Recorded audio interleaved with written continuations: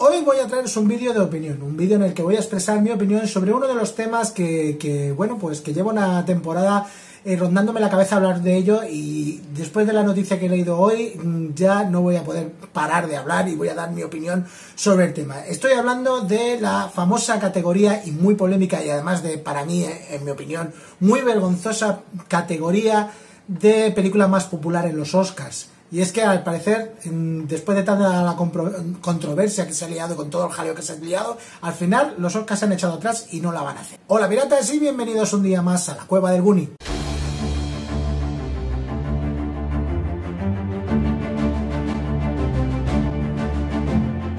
Como sabéis, yo soy un cinéfilo, porque, bueno, pues desde muy pequeño llevo toda la vida viendo, viendo cine eh, soy mm, consumidor de todo tipo de cine, de cine muy bizarro, muy extraño, muy seria Z, hasta cine de autor eh, súper difícil de ver, ¿no? O sea, yo nunca me he cerrado a, conocer nuevas formas de expresión artística, etcétera, ¿no? Eh, y como buen cinéfilo, eh, uno de los momentos más importantes del año es febrero y el fin de semana de los Oscars, donde pues me quedo hasta altas horas de la madrugada discutiendo con amigos sobre la ceremonia y sobre los ganadores, ¿no? Y una cosa ha pasado en los últimos años, y eso está clarísimo, y es que la cantidad de gente que ve la ceremonia de los Oscars está bajando pero de una manera impresionante. Las, las, las audiencias han bajado, eh, cada vez lo ven menos gente y los Oscars no saben muy bien cómo adaptarse a esta a este nuevo mundo, a esta nueva eh, tendencia que está llevando eh, a la gente fuera de la retransmisión, ¿no? Y claro, ellos en parte dependen mucho de su presupuesto de, la audiencia de esta, de esta retransmisión. En la academia se ha dado vueltas muchas veces que si es la duración de la gala, que si son los discursos, que si son, y bueno, han ido tocando cositas en la gala, pero la gente sigue sin ver la, la, la gala y sin estar muy contento con los Oscars cada año. Y esto tenía un punto importante, y es que eh, los Oscars llevan unos años alejándose de una manera tremenda de lo que viene siendo el cine popular, ¿no? O sea, eh, hubo un momento importante en la, ceremonia de los Oscars, que fue, por ejemplo, en la 89 edición, el famoso momento La La La Moonlight, eh, ¿vale? Eh, dos películas que digamos que tampoco son muy comerciales, pero había una muy comercial y otra extremadamente indie, y ganó la indie. Esto hizo que mucha gente se enfadara porque, bueno, es películas que incluso había gente que ni siquiera había visto y no tienen el menor interés. Cosa que, bueno, pues yo comprendo con Moonlight porque es un coñazo insufrible, ¿no? Pero hay otras películas pues que hay que darles una, hay que darles una oportunidad porque están muy bien y son muy buenas películas. Pero ¿qué ocurre? Que la gente está llenando los cines, los cines cada vez tienen más gente, las películas eh, consiguen cifras espectaculares, pero sin embargo nadie ve los Oscars y las películas que están en, los cines llenando las galas no están en los Oscars. Y si están es en categorías eh, muy pequeñas, muy técnicas y bueno, siempre han estado ahí básicamente, pero siempre se colaba alguna entre las mejores películas, ¿no? Y, en los últimos años eso no ha ocurrido y, eso empieza a, tocar la, moral a lo que está, a la gente que en realidad está llenando los cines, que es el fandom. Y esto provocó que eh, los Oscars decidieran crear una categoría de fandom, una categoría de película más popular, mejor película popular del año. Y porque, claro, eh, dicen a ver si conseguimos traer a la gente del fandom a que vea la gala para que se interese por esta película, ¿no? Y por este premio, ¿no? Eh, así, así podemos premiar a las películas de superhéroes. Y claro, eh, esto al fandom le ha tocado las narices de semejante manera, porque ellos no quieren que les den un premio de consolación. Ellos piensan, y entre los que me incluyo, que hay películas de superhéroes que se merecen estar en las categorías de los Oscars, en las principales categorías. no solamente como algo residual. En, en la ciencia ficción el género necesita estar en los Oscars porque hay películas que, son verdaderas maravillas. Es vergonzoso que Interestelar no fuera nominada en su año, por ejemplo, por decir uno, por decir una, una película así al azar. Eh, me parece tremendísimo que, haya, películas que ni se hayan nombrado en los Oscars. Y me parece ridículo que una película como Escuadrón Suicida tenga un Oscar. Eh, o sea, también es el punto contrario. Pero, y encima de maquillaje cuando compartía con esa maravilla que era, que era Star Trek, ¿no? Pero claro, ¿qué ocurre? Que eh, el fandom se ha revelado contra este premio diciendo que no quieren migajas, las películas, las productoras de, de cine de, este tipo no quieren migajas. De hecho, Disney ha dicho que no iba a presentar a ninguna película más popular, o sea, se iba a quedar fuera eh, en todo el mundo Marvel y todo el mundo Star Wars por una simple razón, porque ellos quieren apostar firmemente porque Infinite Wars y Black Panther entren en la carrera de los Oscars.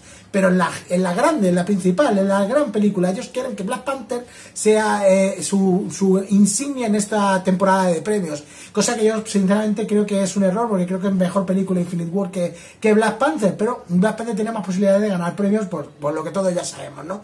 Eh, bueno, pues ha liado parda. Además, también no solamente, eh, no solamente entre el público fandom, sino entre el público no fandom. O sea, precisamente entre el público que suele ver esta gala y, y, suele centrarse en el cine más de autor, más de calidad, entre comillas, lo de calidad, y etcétera, etcétera, pues también están enfadados porque piensan que es como vender unos premios y regalar un premio a una película que a lo mejor no lo merece yo vuelvo a repetir, yo creo que sí merecen, porque una, cuando se juega una, película, mejor película, o mejor producción, eh, no se está jugando, o mejor dirección, no se está jugando la calidad de la película en sí, se está jugando el total, se está jugando, eh, eh, se está juntando no solamente el guion, no solamente las actuaciones, además de las actuaciones y guion se juzgan toda la técnica, etcétera. No puede ser que películas que tienen 5, 6, 7, 8 nominaciones en técnicas no entren en la carrera de mejor película. Es que es ridículo, sinceramente. Y claro, esto lleva a que después de todas las críticas los Oscars hayan regulado y, es, y, hoy mismo han anunciado que este año 2019 no va a haber, bueno, en la edición de 2019, el año que viene,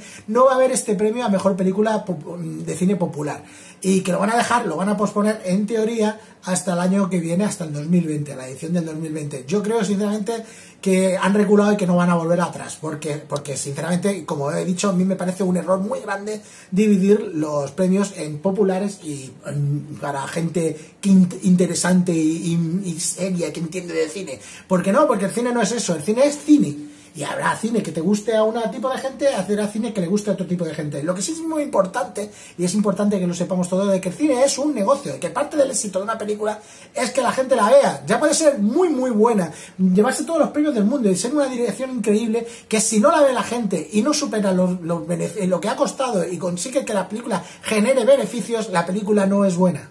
Y punto, y ya está.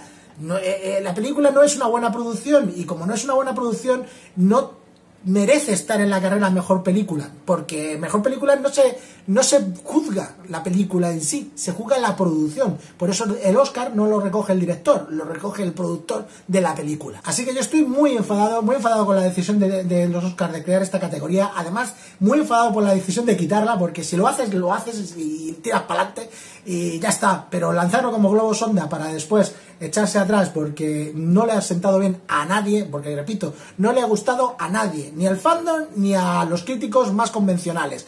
Entonces, eh, esta decisión pues es una mmm, basura que ha tomado eh, los Oscars y que probablemente eh, nunca volvamos a ver y no veamos este premio.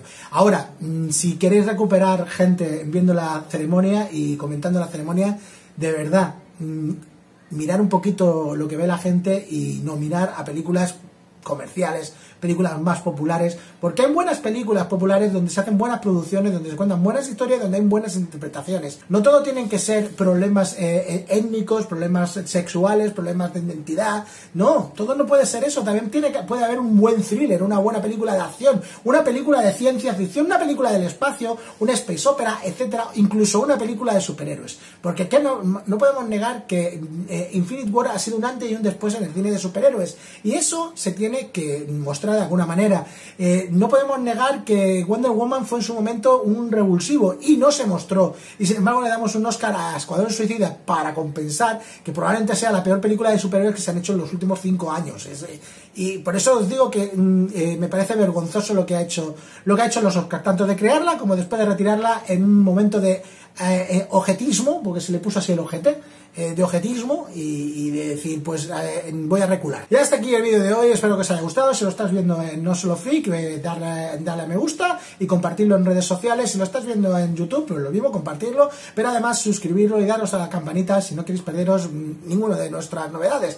Estamos llegando a 200, yo lo agradezco, muchísimas gracias, nos vemos en el siguiente vídeo.